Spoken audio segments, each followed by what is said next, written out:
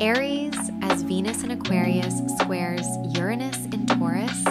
you're faced with a dynamic tension between your desires for personal freedom and the unexpected changes in your material world.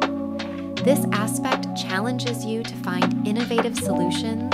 to balance your need for independence this as an opportunity to rethink your values and innovate your approach to achieving your goals Be ready for sudden shifts and use them as fuel for growth.